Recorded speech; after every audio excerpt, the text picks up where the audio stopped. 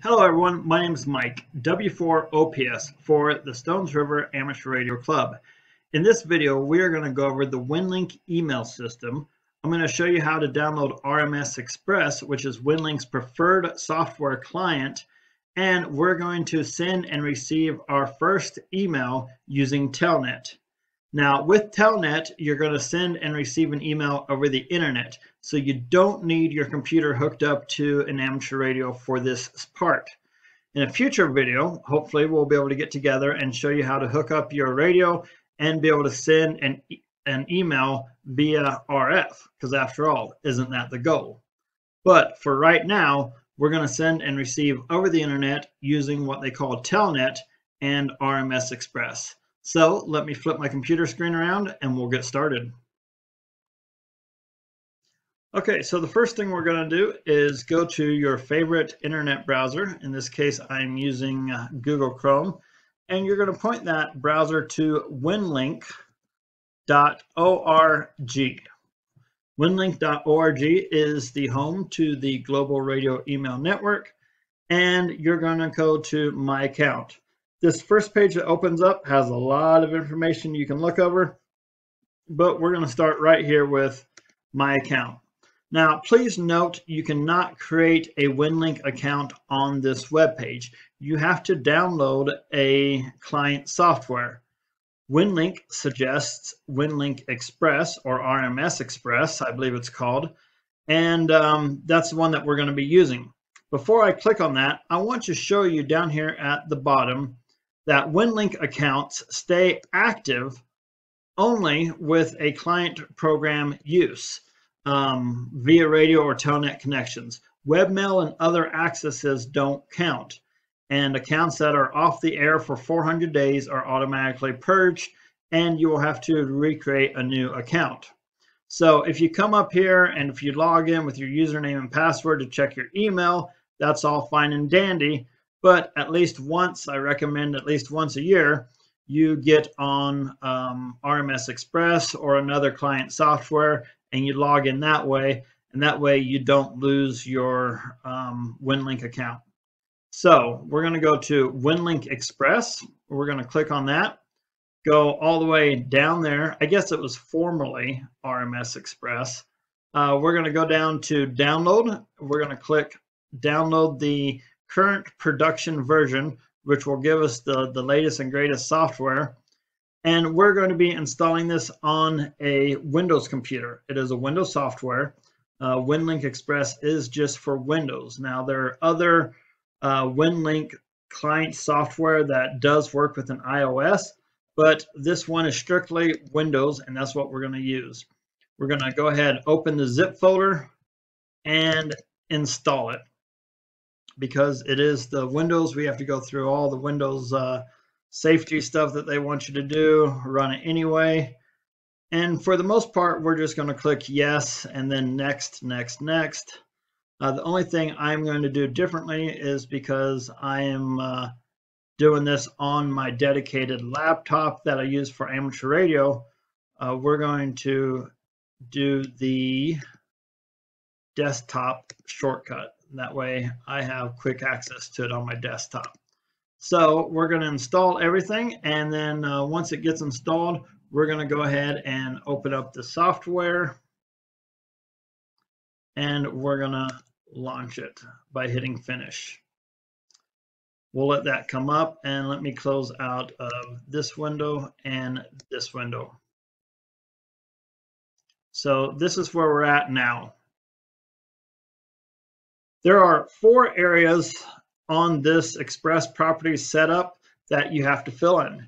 Your call sign, which is W4OPS, and a case sensitive password. I will enter this one here. My email address is the other area that you have to um, have entered. And finally, a grid square. Now it has to be the six digit grid square. You can't just enter EM29 and have it work. Uh, in this case, I'm operating from EN20IP, and that's my grid square. We're gonna hit update. Now, if this is the first time you're running the software, Uh, it's going to request the information on the right, the optional contact information, but it's not required. So when this screen pops up, you can just hit no. Uh, if you want to, you can go back and fill in that information later. Uh, it's also going to say, um, do you know, want to go ahead and register the program? At this time, I'm going to say remind me later, and we'll get a registration key for it at some point. So this is WinLink Express 1.6.3.0. This is the main screen. If it looks familiar to you, it's because a lot of the old 90s emails were set up like this.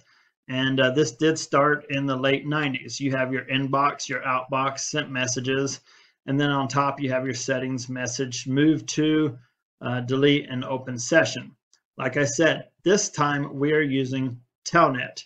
Um, there are a lot of other ones, and I would love to go over VARA, uh, HF, and FM and um, ARDOP with you, but that may be another day. And these all require a um, radio hooked up to your computer. These are all going to be uh, RF uh, transmissions. Uh, Telnet is just going to go over the internet. So we're going to hit a Telnet session and we're going to go open session. Now, when you open a session, you have exit settings start and time to next auto connect. I want to take a moment and point out that if you go to settings and you can click on 30 minutes, an hour, 24 hours, whatever. I'm going to hit 30 minutes and hit update. Now you will see it starts counting down and in 30 minutes it will automatically connect. If this is just sitting in your shack or if you're using it for uh, EmComm or something like that, and you want it to automatically go in there and check your email for you every 30 minutes or so, uh, make sure you hit the auto connect and leave this window open. Now I don't want to wait 30 minutes, so I'm going to go ahead and hit start, and this is going to start a session for me. This window reminds me of Windows DOS. It's going to pop up and it's going to tell me what's happening in the background. So it checks the messages. It tells you uh, that it's connected. It will tell me if I've sent any messages, if I've received any messages, and then it will automatically disconnect and start counting down again for that 30 minute timer. We're going to leave that open and jump over to this main window and we're going to send an email. So we're going to come over here to the new message we're going to click on that and W0MET, my brother, is going to get a message from me. WinLink, winlink.org is going to be his email address. And we're just going to say this works, video coming soon. Mike, W4OPS. Now, at this point, if you were composing an email on Gmail or Outlook or something like that, you would hit the send button. But if you start looking closely, there is no send button anywhere to be found on this screen. You're going to have to click post to outbox. What this is going to do is it's going to take that message and stick it in your outbox and it's going to stay there until you start a new session which for us is going to be in 28 minutes and 43 seconds. Well, like I said, I don't want to wait that long, so I'm going to go ahead and automatically start one. And it's going to do the same thing. It's going to connect to the system. Uh, it's going to send a one message, the bytes, the time it takes, and it's going to automatically disconnect. You will see over here in the main window that instead of an email in my outbox, I now have a sent item. It's the same way for um, receiving emails as well.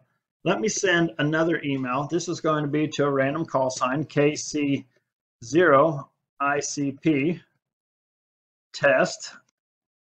This is a test message. Again, we're going to hit post to, I don't know if I, KC KC zero ICP. I don't think I have to do the uh, the WinLink on there. I think it will automatically, if I send as WinLink message, it will automatically send as a WinLink message. Test, this is a test message. So we're gonna post to Outbox and come over here to my session, my Telnet session I got going on, and I'm gonna hit start again. It starts a new session and sends that email. Now, I, I, happen to know that call sign is not active on the WinLink Express network. So WinLink Express is going to email me back and say, hey, I can't send this email. Uh, let's see how fast it does that. It already did it. So let's go back to my main window. You can see I have in my inbox, you can see I have in my inbox right here one unread email and it's from uh, the service, the system, and it says it's undeliverable. The call sign is not known or invalid. This warning applies only to this call sign. So if I had sent out an email to everyone in the club, uh, everyone in the club who had a WinLink address would have gotten it, and I would have gotten an email back for all the people who haven't signed up for the WinLink system. So this lets you know that your email went through or your email was undeliverable, which is really nice. And I believe with this, I'm just going to go ahead and let's see, close that. Uh, one of these buttons up here should be, I don't want to save it. Uh, I want to delete. So we're just going to go ahead and delete that email.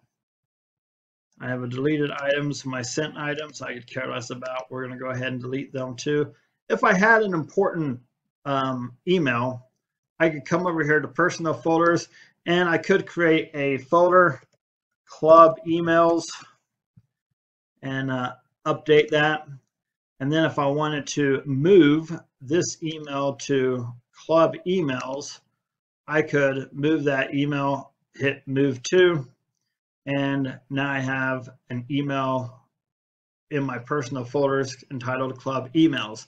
So I can have multiple personal folders, or I can just go ahead and delete that email if there was no reason for me to save it, or if it was about a certain subject, I could create some personal folders. Uh, when you're done with your Telnet session, it is already disconnected, so you can just go ahead and exit out of that software um, or, or that window if you don't want to use it anymore. Uh, if you wanted to leave it open and see if maybe, you know, in a half hour, hour, five hours, six hours, someone replies to you, you can leave that open and just running on your computer like this. But it's only going to check whether or not you have an email when you have this Telnet session open and your auto connect is counting down and it checks periodically.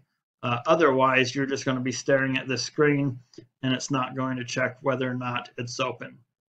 So in a nutshell, that is WinLink Express, formerly known as RMS Express, and sending and receiving um, emails via Telnet, which is through the internet and not through a radio connection, unlike some of these other down here will be. So if you have any questions, or even if you don't, leave something in the comments. It helps out my channel, and I appreciate it very much. Uh, if you do have any questions, you can also leave them down below. Uh, hit us up at the next club meeting, or um, get on the Slack channel as well, and uh, we can answer any questions on uh, Slack, or uh, shoot me an email. You can get a hold of me, w4ops at winlink.org. Thanks a lot, guys, and uh, have a good day. I appreciate it.